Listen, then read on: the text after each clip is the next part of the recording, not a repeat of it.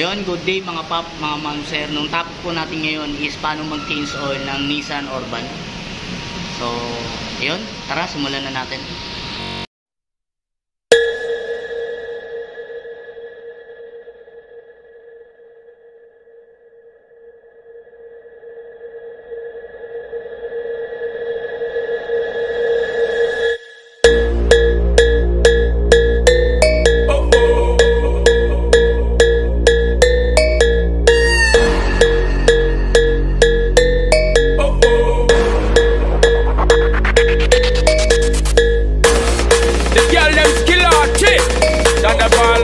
Me give it up.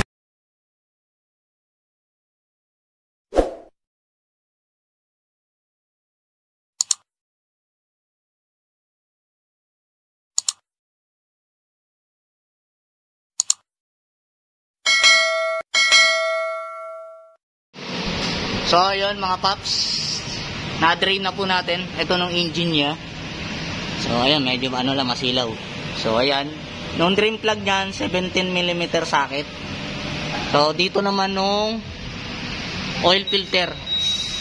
Ayan. Yan ang oil filter niya. Tapos, dito naman nung air filter.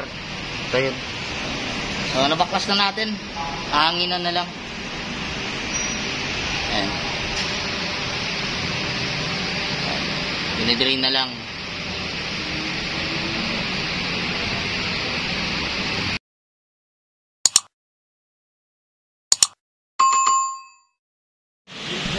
Ayun mga paps, mga mom sir. So, nabalik na natin nung drain plug, tsaka oil filter, tsaka air cleaner. So, nung oil filter niya. Malaki, 209. So, nung gamit po natin dito sa Nissan Urban is special po. 15W40, good for 5,000 kilometers.